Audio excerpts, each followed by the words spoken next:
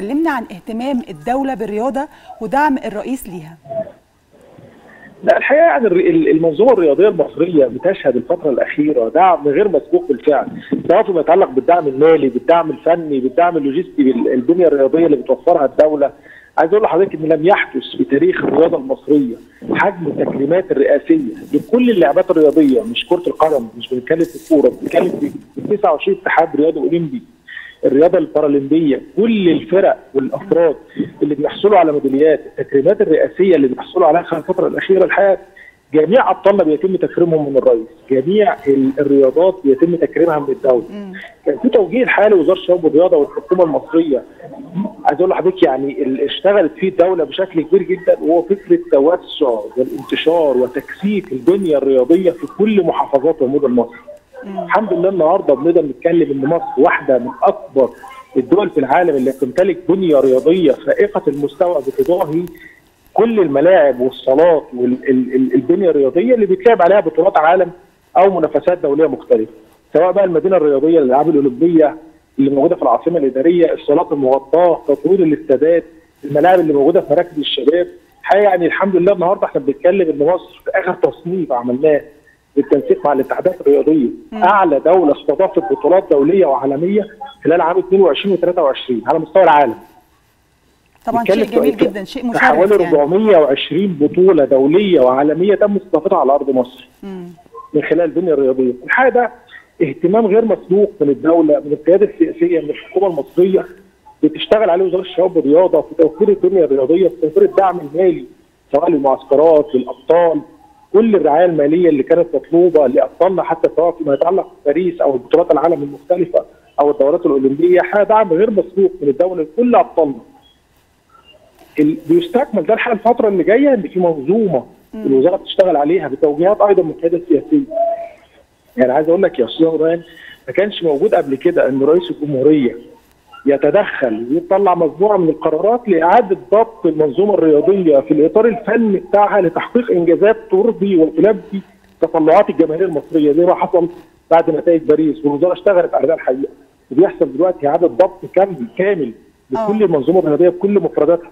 الاتحادات الرياضية في الأبطال في الدعم الفني الإداري في الرقابة المالية. وفعلا ده إحنا بنشوف طب خليني اسال برضه حضرتك عن دور بقى الوزارة في دعم الرياضات الفردية والجماعية.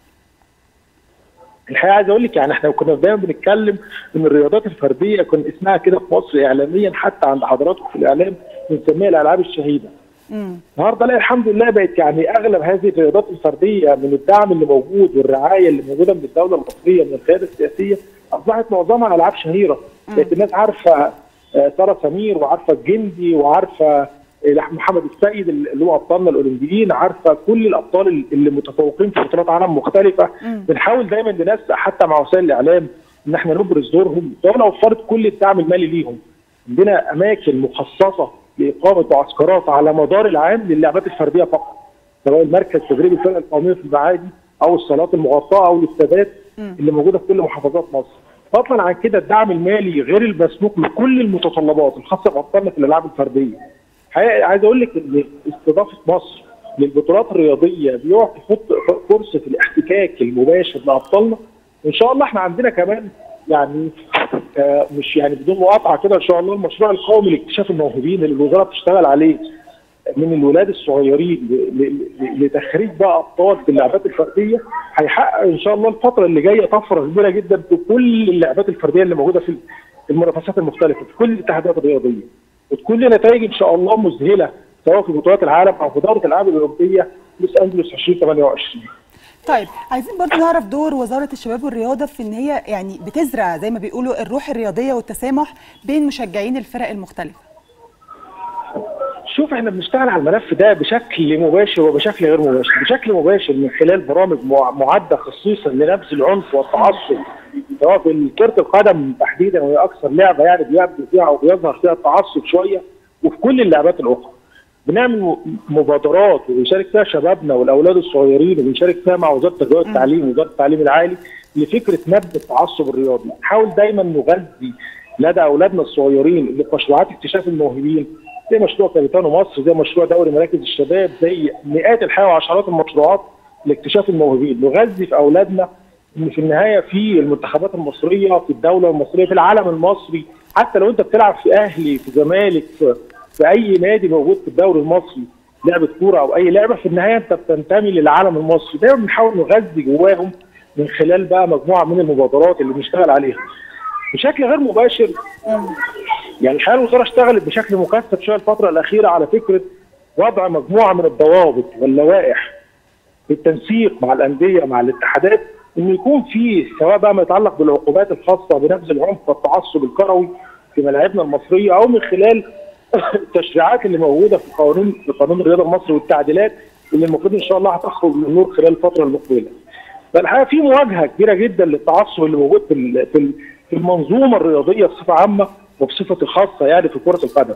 حقيقي الفترة الأخيرة الحقيقة يعني حصل بعض الأمور اللي ممكن تكون خرجت في إطار التعصب أو أو التنمر أو كذا في تحديدا في مجال كرة القدم لكن دايما نحاول بنحاول ننسق مع المؤسسات الإعلامية. إن إحنا نظهر دايما النماذج المثالية فيما يتعلق بأبطالنا الرياضيين في كرة القدم. بنحاول ننسق دايما إن لما يبقى في مباراة للأهلي والزمالك إن نعرف الولاد وده مهم جدا الحقيقة يعني. حقيقي طبعا. اسمحي لي إن أنا أقول ده أهم رسالة بتطلع لاولادنا وإحنا عندنا رصد لده يا أستاذ مراد بنعمل رصد للكلام أيوه ده أكيد إن يبقى في روح أهم رياضيه رسالة. يبقى أكيد طبعا ما بيننا روح رياضية وبشكر حضرتك جدا يا فندم. تسلمي لي يا أستاذ ربنا يخليك رب. ربنا يخليك.